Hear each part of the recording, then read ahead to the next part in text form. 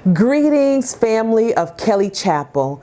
It is my honor and privilege to share with you today and to say how excited I am to be appointed to this congregation and to this community. So, with that in mind, grace, mercy, and peace from God our Father and the Lord Jesus the Christ.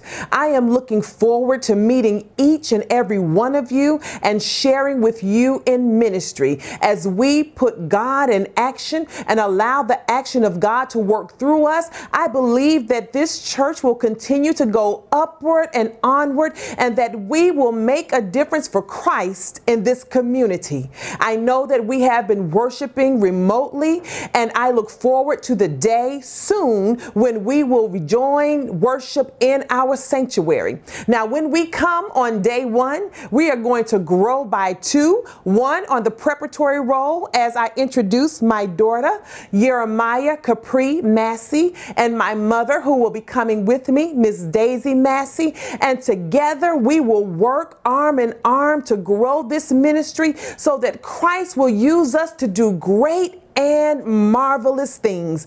You have a wonderful history, a firm foundation, and I believe that God will use everything that you have already worked on, everything that you have already poured out to continue to raise us to higher heights. So look out because here we come. And I trust that God is going to do great and marvelous things in us, with us, through us, and for for us today and every day. To God be the glory. I look forward to seeing you in person soon. Amen and amen.